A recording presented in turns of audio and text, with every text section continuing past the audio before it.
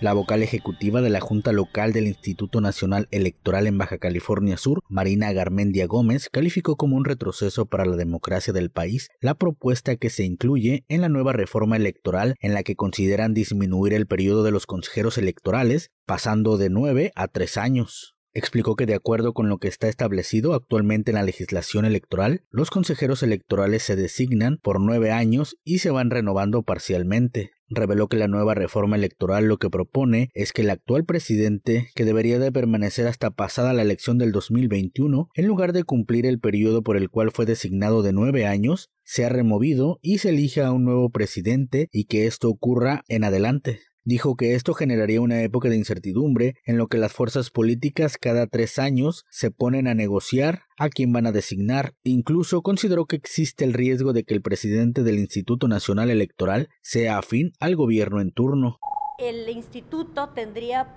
como tal pues una época de incertidumbre, se puede decir, en lo que las fuerzas políticas cada tres años están negociando quién, a quién van a designar como presidente. ¿Y qué fuerzas políticas? Pues las fuerzas políticas que ganan en la próxima elección. Es decir, ahorita ganó la mayoría una fuerza política, puede designar a un presidente, pues obviamente este, que sea cercano, ¿verdad? O que tenga, que con, con quien comparta algunas cuestiones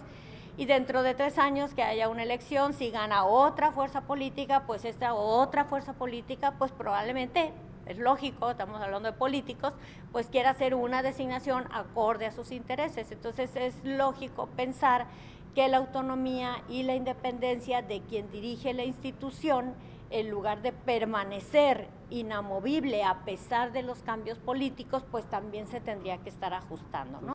Expuso que si se modifica no solo la cabeza de la institución, sino también de los funcionarios electorales, sería muy grave, ya que el INE se convertiría en una dependencia más del gobierno federal y se perdería el avance democrático del país porque hay que recordar que el INE surgió del Instituto Federal Electoral y que ahí sí, en el Instituto Federal Electoral, quien presidía era el secretario de Gobernación.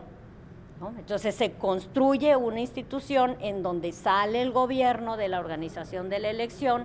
se crea esta estructura profesional que es independiente de los cambios políticos. Entonces, modificar este esquema pues implica necesariamente que la institución eh, quedaría como otra dependencia pública más, es decir, aún con la, con la figura que tenemos, que no somos del gobierno, sino que formamos parte del Estado, pues sí quedaríamos sujetos a quien gana la mayoría en los procesos electorales